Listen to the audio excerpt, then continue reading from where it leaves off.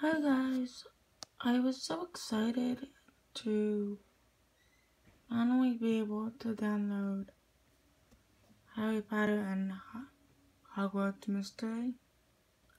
So I completely cleared out my tablet for this game.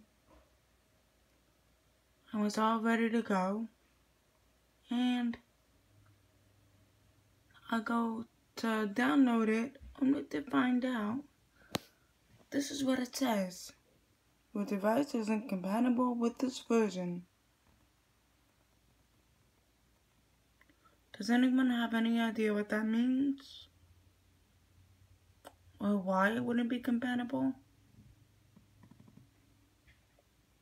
I downloaded Google Play on my Fire tablet